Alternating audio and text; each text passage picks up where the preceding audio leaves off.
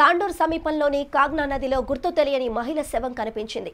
యాలల పోలీసులు మహిళ శవాన్ని బయటకు తీసి పోస్టుమార్టం నిమిత్తం జిల్లా ఆసుపత్రికి తరలించారు. కేసు నమోదు చేసి దర్యాప్తు చేస్తున్నారు.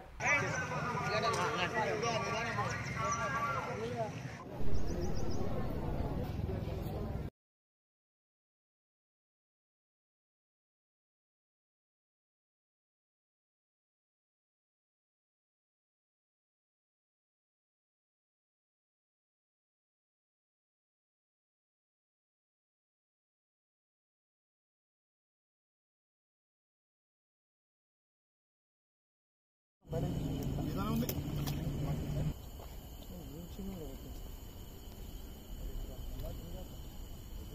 బందో బందో ఒప్పుడు చెప్పు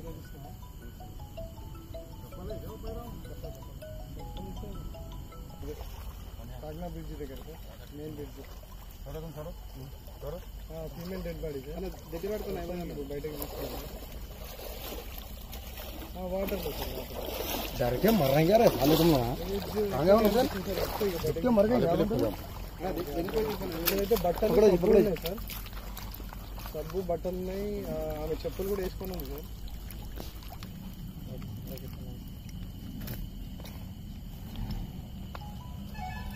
హరికాంత్. హరికాంత్ బయలుదేరిండా? ఓకే.